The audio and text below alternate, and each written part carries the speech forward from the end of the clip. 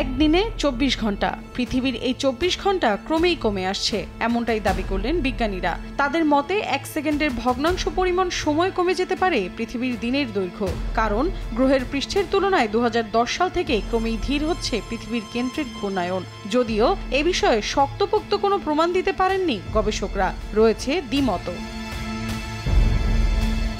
পৃথিবীর অভ্যন্তরীণ কেন্দ্র লোহা এবং নিকেল দিয়ে তৈরি একটি কঠিন গোলক, যার বাইরের আবরণ তৈরি গলিত ধাতু দিয়ে। ভূমধ্যাকর্ষণ শক্তির কারণে রয়েছে একটি নির্দিষ্ট স্থানেও। পৃথিবীর তিনটি স্তরের একটি গঠিত হয় এই অভ্যন্তরীণ এবং বাইরের অংশ মিলে। বাকি দুটোর একটি তৈরি হয় কঠিন শিলার পুরো স্তর ম্যান্টেল এবং অপরটি তৈরি হয় ক্রাস্ট দিয়ে, যা বিভিন্ন ধরনের শিলা ও খনিজ উপাদানে তৈরি শক্ত পাতলা একটি আবরণ।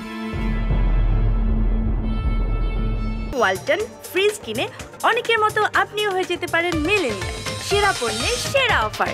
সশরীরে গিয়ে পরীক্ষা নিরীক্ষা করা সম্ভব না হওয়ায় ভূমিকম্পের কারণে সৃষ্ট তরঙ্গগুলোর রেকর্ড পর্যালোচনা করে গবেষণা চালাতে হয় সংশ্লিষ্টদের, এমনটাই জানিয়েছেন সাউদার্ন ক্যালিফোর্নিয়া বিশ্ববিদ্যালয়ের প্রফেসর জন বিদালে তিনি আরও জানান, কয়েক দশকের মধ্যে প্রথমবারের মতো ধীর হয়ে গেছে কেন্দ্রটি। কারণ অভ্যন্তরীণ কেন্দ্রটি পৃষ্ঠের সাপেক্ষে বিপরীত দিকে ঘুরছে এবং পিছিয়ে যাচ্ছে। পাশাপাশি প্রায় চল্লিশ বছরের মধ্যে প্রথমবার ম্যান্টেলের চেয়ে ধীর গতিতে ঘুরছে অভ্যন্তরীণ কেন্দ্র। এখানেই শেষ নয়, অভ্যন্তরীণ কেন্দ্রের ঘূর্ণায়ন বাইরের অংশে উৎপন্ন চৌম্বক ক্ষেত্র এবং পৃথিবীর আবরণের মধ্যে সৃষ্ট মহাকর্ষীয় প্রভাবের কারণে প্রভাবিত হয়। যদিও এ বিষয়ে ভিন্নমত পোষণ করেন অন্য আরেক দল গবেষক। তাদের মতে, এটি পৃথিবীর পৃষ্ঠের চেয়েও দ্রুত গতিতে ঘোরে।